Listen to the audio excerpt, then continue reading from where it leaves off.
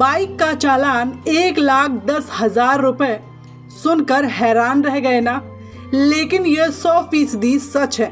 और ऐसा हुआ है यूपी के मथुरा में, जहाँ एक बाइक सवार का इतना ही मोटा चालान कर दिया गया। और चालान की कीमत बाइक की कीमत से भी ज़्यादा है। जिस शख्स का चालान काटा गया, उसका नाम है विष्णु कुमार कुशवाहा।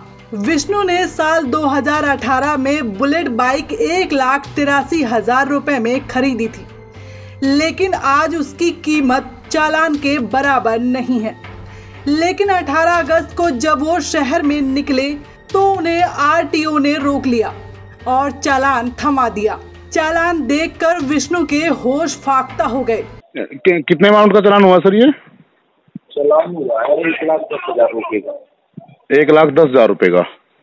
और बाइक बाइक की कीमत क्या हो गई? जो मैंने सन अठारह में खरीदी थी। एक लाख तिरासी हज़ार रुपये की मिली थी मुझे। दो धाराओं के तहत जिसमें पहली वजह गाड़ी खरीदने के बाद नाम न कराना और पोल्यूशन का जुर्माना लगाया गया है। विष्णु ने काफ़ी मिन्नतें की लेकिन आरटीओ साहब ने वहाँ से फटकार कर उन्हें भगा दिया।